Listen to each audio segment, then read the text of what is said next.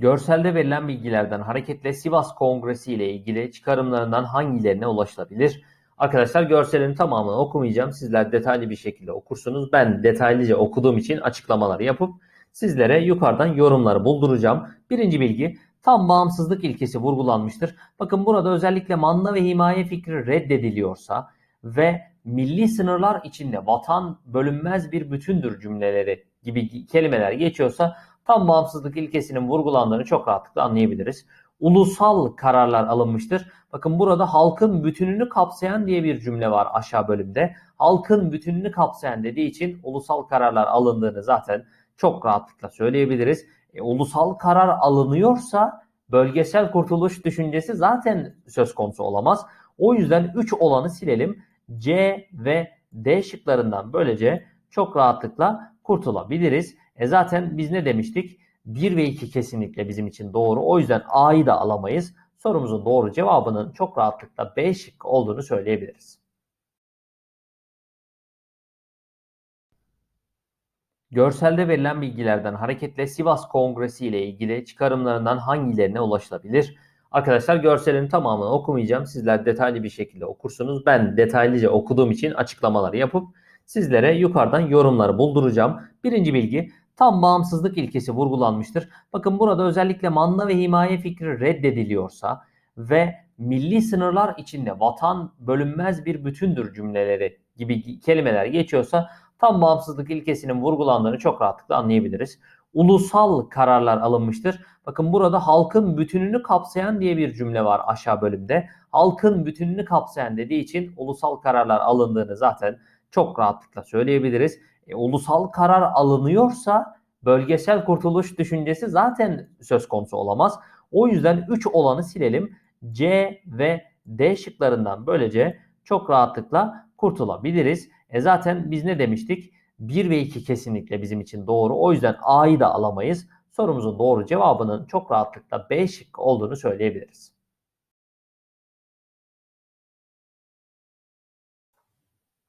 Tabloda verilen bilgilerden hareketle aşağıdakilerden hangisi söylenemez?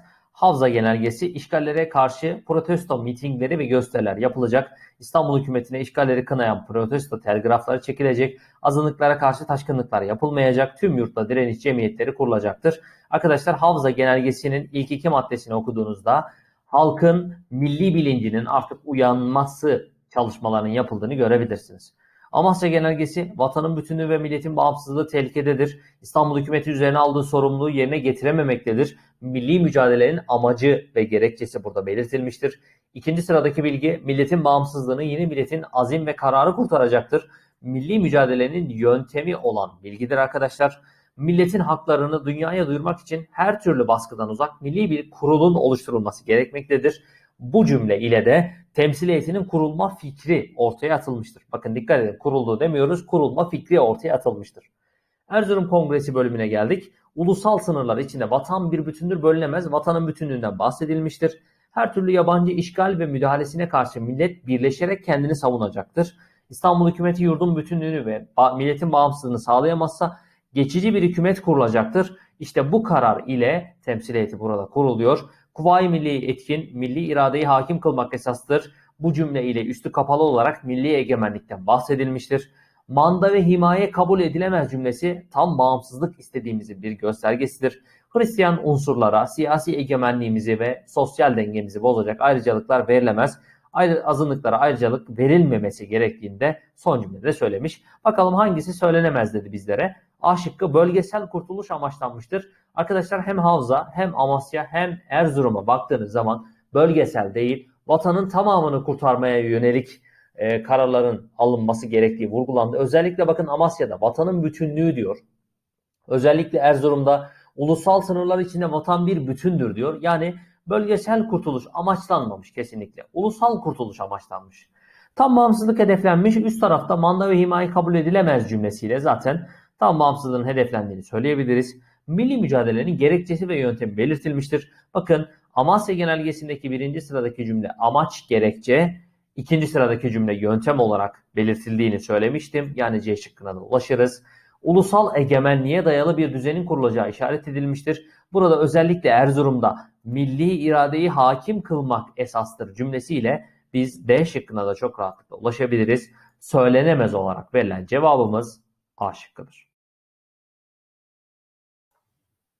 Tabloda verilen bilgilerden hareketle aşağıdakilerden hangisi söylenemez? Havza genelgesi işgallere karşı protesto mitingleri ve gösteriler yapılacak. İstanbul hükümetine işgalleri kınayan protesto telgrafları çekilecek. Azınlıklara karşı taşkınlıklar yapılmayacak. Tüm yurtta direniş cemiyetleri kurulacaktır. Arkadaşlar Havza genelgesinin ilk iki maddesini okuduğunuzda halkın milli bilincinin artık uyanması çalışmalarının yapıldığını görebilirsiniz.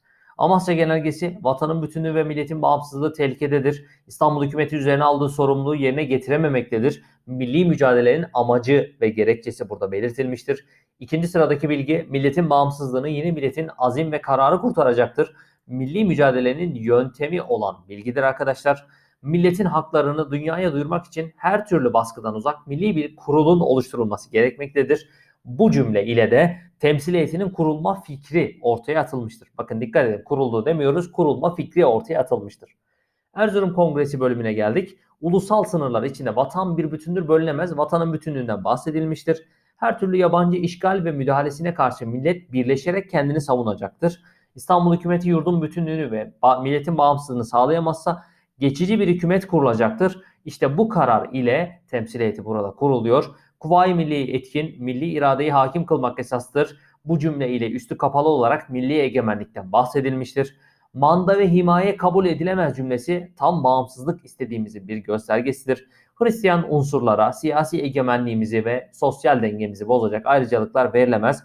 Ayrı, azınlıklara ayrıcalık verilmemesi gerektiğinde son cümlede söylemiş. Bakalım hangisi söylenemez dedi bizlere. A şıkkı bölgesel kurtuluş amaçlanmıştır. Arkadaşlar hem Havza hem Amasya hem Erzurum'a baktığınız zaman bölgesel değil vatanın tamamını kurtarmaya yönelik e, kararların alınması gerektiği vurgulandı. Özellikle bakın Amasya'da vatanın bütünlüğü diyor. Özellikle Erzurum'da ulusal sınırlar içinde vatan bir bütündür diyor. Yani bölgesel kurtuluş amaçlanmamış kesinlikle. Ulusal kurtuluş amaçlanmış. Tam bağımsızlık hedeflenmiş. Üst tarafta manda ve himaye kabul edilemez cümlesiyle zaten tam bağımsızlığın hedeflendiğini söyleyebiliriz. Milli mücadelenin gerekçesi ve yöntemi belirtilmiştir. Bakın Amasya Genelgesi'ndeki birinci sıradaki cümle amaç gerekçe, ikinci sıradaki cümle yöntem olarak belirtildiğini söylemiştim. Yani C şıkkına da ulaşırız.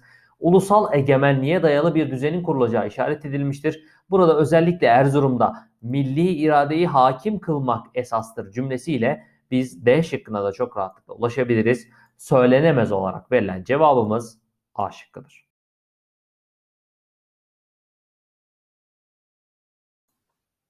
Tabloda verilen kongre kararlarına bakılarak çıkarımlarından hangilerine ulaşılabilir? Erzurum Kongresi kararında 10 Doğu ilini temsil eden bir heyet kurulacaktır. Sivas Kongresi kararına baktığımızda 10 ili temsil eden heyetin yetkisi bütün yurdu kapsayacak şekilde genişletilmiştir. Bu da bize şunu gösterir. Erzurum Kongresi bölgesel bir kongredir. Sivas Kongresi ulusal bir kongredir. Bakalım bir Sivas Kongresi ulusal niteliktedir. Bunu zaten biraz önce yorumladım. Kesinlikle doğrudur. Çünkü bütün vatanı kapsayacak şekilde kararlar alınıyor demektir. Erzurum Kongresi mahalli bir anlayıştadır. Mahalli demek bölgesel. Sadece o bölgeyi ilgilendiren demek. Bakın 10 doğu ilini yani sadece bir bölge demek. Demek ki ikiye de çok rahatlıkla ulaşırız. Sivas Kongresi'nde temsil heyetinin yetkileri artırılmıştır. Bakın sadece doğuyu temsil ederken bir anda bütün yurdu kapsayacak şekilde genişletmek demek yetkilerinin artırılması demektir. Üçüncü bilgi de doğrudur. Sorumuzun cevabı D şıkkıdır. Tabloda verilen kongre kararlarına bakılarak çıkarımlarından hangilerine ulaşılabilir? Erzurum Kongresi kararında 10 Doğu ilini temsil eden bir heyet kurulacaktır. Sivas Kongresi kararına baktığımızda 10 ili temsil eden heyetin yetkisi bütün yurdu kapsayacak şekilde genişletilmiştir. Bu da bize şunu gösterir. Erzurum Kongresi bölgesel bir kongredir. Sivas Kongresi ulusal bir kongredir. Bakalım bir Sivas Kongresi ulusal niteliktedir. Bunu zaten biraz önce yorumladım. Kesinlikle doğrudur. Çünkü bütün vatanı kapsayacak şekilde kararlar alınıyor demektir. Erzurum Kongresi mahalli bir anlayıştadır. Mahalli demek bölgesel. Sadece o bölgeyi ilgilendiren demek. Bakın 10 doğu ilini yani sadece bir bölge demek. Demek ki ikiye de çok rahatlıkla ulaşırız. Sivas Kongresi'nde temsil heyetinin yetkileri artırılmıştır. Bakın sadece doğuyu temsil ederken bir anda bütün yurdu kapsayacak şekilde genişletmek demek yetkilerinin artırılması demektir. Üçüncü bilgi de doğrudur. Sorumuzun cevabı D şıkkıdır.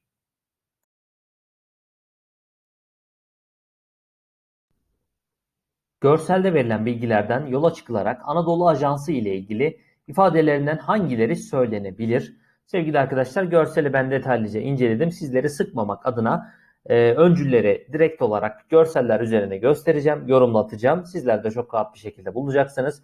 Birinci bilgi yaklaşık bir asırdır hizmet verdiğine kesinlikle ulaşırız. Çünkü en baş bölüme baktığınız zaman Anadolu Ajansı 99 yıldır Anadolu'nun sesini dünyaya duyuruyor. 99 yıl ne demek? Yaklaşık bir asır demek. Bir asıra bir yıl kalmış demek. Zaten orada da tam bir asır demiyor. Yaklaşık bir asırdır. Demek ki birinci bilgi doğrudur. İki, milli mücadele döneminde halkı aydınlattığı da çok rahatlıkla e, görülüyor arkadaşlar. Şu bölümü okuduğunuz zaman e, çok rahatlıkla burayı da anlayabilirsiniz. Okuyorum sizlere. Kurtuluş Savaşı sürecinde milli birliği tehlikeye düşürecek kışkırtmalar ve yalanlara karşı milleti uyanık tutmak, ulusal mücadeleyi bağımsızlığa ulaştıracak karar ve hareketleri zamanında halka bildirmekle işe başlayan. Bakın zaten bize ikinci bilgide de bunu soruyordu. Halka aydınlattı da buradan çıkar arkadaşlar. Üçüncü bilgiye baktığımızda milli mücadele döneminin ilk yayın organı. Arkadaşlar görselin herhangi bir yerinde milli mücadele döneminin ilk yayın organı olduğuna dair herhangi bir şey çıkmaz. Ki daha öncesinde Anadolu Ajansı'ndan önce mesela Sivas Kongresi'nde kurulan bir İrade-i Milliye gazetesi vardır. Daha önce çıkmıştır. İlk yayın organı olarak onları söyleyebiliriz. Yani üçüncü bilgi vurgulanmamıştır görselde. O yüzden 1 ve 2'ye doğru diyoruz. Cevabımız B şıkkıdır. Görselde verilen bilgilerden yola çıkılarak Anadolu Ajansı ile ilgili ifadelerinden hangileri söylenebilir? Sevgili arkadaşlar görseli ben detaylıca inceledim. Sizleri sıkmamak adına e, öncülleri direkt olarak görseller üzerine göstereceğim, yorumlatacağım. Sizler de çok rahat bir şekilde bulacaksınız.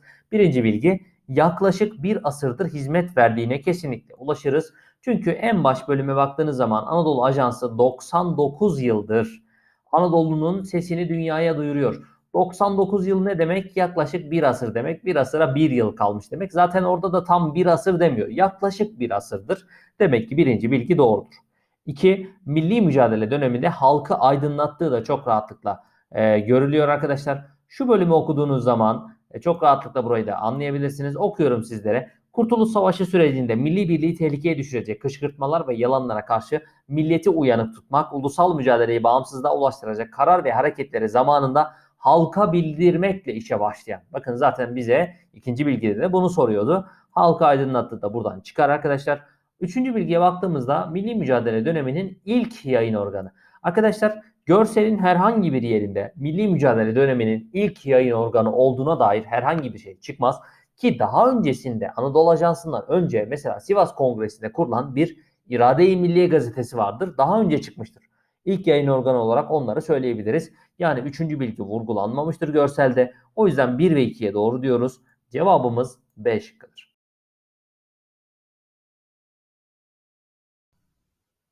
Haritada verilen bilgilere göre Mustafa Kemal hakkında aşağıdakilerden hangisi söylenemez?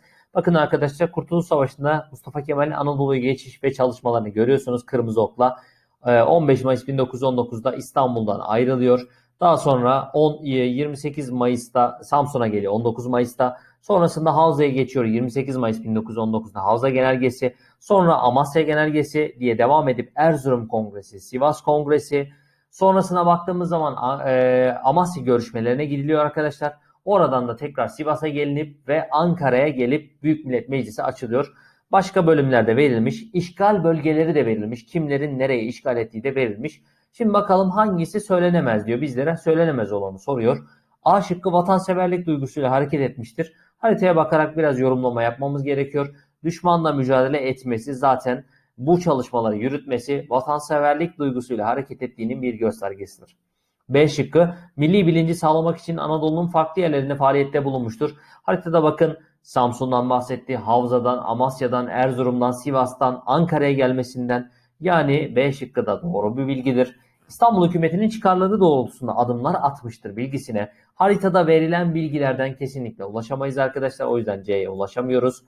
Türk halkının güvenini kazanmaya yönelik faaliyetlerde bulunmuştur. Bakın yaptığı çalışmaların tamamı Türk halkının güvenini kazanacak çalışmalardır. D şıkkına da ulaşabiliriz. Sorumuzun doğru cevabı C şıkkıdır. Haritada verilen bilgilere göre Mustafa Kemal hakkında aşağıdakilerden hangisi söylenemez?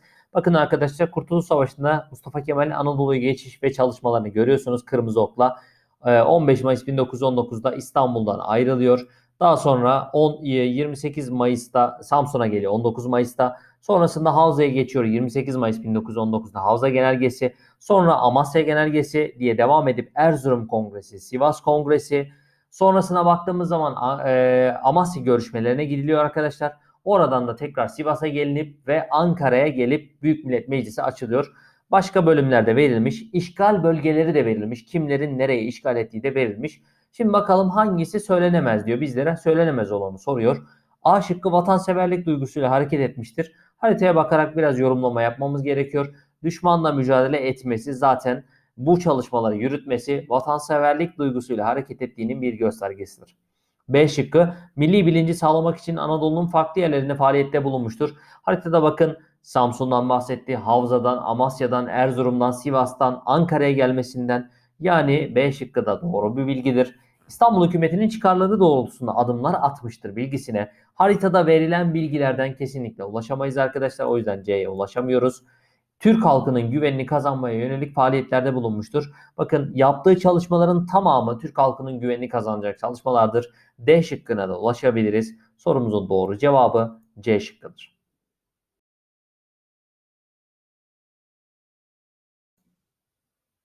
Hamza Genelgesi'nden hemen sonra İzmir ve İstanbul'da mitingler düzenlenmiş, milli birlik ve beraberlik için çalışmalar yapılmıştır.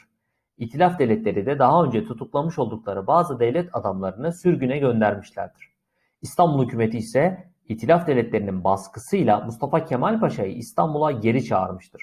Mustafa Kemal Paşa bu emre uymayarak telgraflar yoluyla zaman kazanmış ve bu sırada Amasya'ya geçmiştir. Bu metne göre aşağıdaki çıkarımlardan hangisine ulaşılamaz?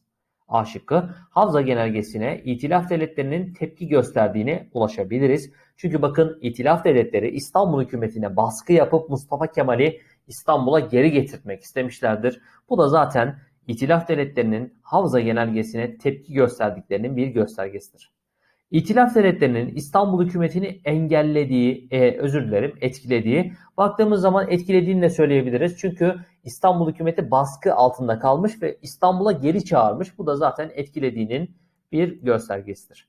Mustafa Kemal Paşa'nın görevden alındığına dair yukarıdaki metinden bir bilgi ya da yorum çıkmayacağı için C şıkkına ulaşamıyoruz. İşgallere karşı milli bilincin uyandırılmak istendiği de yapılan mitinglerle sağlanmak istenmiştir diyoruz arkadaşlar. O yüzden D'ye de ulaştık. Ulaşılamaz olarak verilen sorumuzun cevabı C şıkkıdır. Hamza Genelgesi'nden hemen sonra İzmir ve İstanbul'da mitingler düzenlenmiş, milli birlik ve beraberlik için çalışmalar yapılmıştır. İtilaf devletleri de daha önce tutuklamış oldukları bazı devlet adamlarını sürgüne göndermişlerdir. İstanbul hükümeti ise İtilaf devletlerinin baskısıyla Mustafa Kemal Paşa'yı İstanbul'a geri çağırmıştır. Mustafa Kemal Paşa bu emre uymayarak telgraflar yoluyla zaman kazanmış ve bu sırada Amasya'ya geçmiştir. Bu metne göre aşağıdaki çıkarımlardan hangisine ulaşılamaz? A şıkkı Havza Genelgesi'ne İtilaf devletlerinin tepki gösterdiğine ulaşabiliriz. Çünkü bakın İtilaf devletleri İstanbul hükümetine baskı yapıp Mustafa Kemal'i İstanbul'a geri getirmek istemişlerdir. Bu da zaten İtilaf devletlerinin Havza Genelgesi'ne tepki gösterdiklerinin bir göstergesidir. İtilaf devletlerinin İstanbul hükümetini engellediği, e, özür dilerim etkilediği, baktığımız zaman etkilediğini de söyleyebiliriz. Çünkü İstanbul hükümeti baskı altında kalmış ve İstanbul'a geri çağırmış. Bu da zaten etkilediğinin bir göstergesidir. Mustafa Kemal Paşa'nın görevden alındığına dair yukarıdaki metinden bir bilgi ya da yorum çıkmayacağı için C şıkkına ulaşamıyoruz. İşgallere karşı milli bilincin uyandırılmak istendiği de yapılan mitinglerle sağlanmak istenmiştir diyoruz arkadaşlar. O yüzden D'ye de ulaştık. Ulaşılamaz olarak verilen sorumuzun cevabı C şıkkıdır.